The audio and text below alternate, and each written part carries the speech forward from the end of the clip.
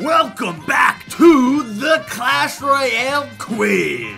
Question number one. How many cards have Royal in their name? And the answer is five. Question number two. Which legendary card was added to Clash Royale first? If you said the Princess or the Ice Wizard, you're correct! Question number three. What is the name of Arena 3? And the answer is the Barbarian Bowl. Question numero cuatro. How many spells are there in Clash Royale? And the answer is 18. B-b-b-bonus time! I'm small and I'm green. I'm fast and I'm mean, and I come in three. Who am I? And the answer is the Goblins. How many did you get right? Let me know in the comments.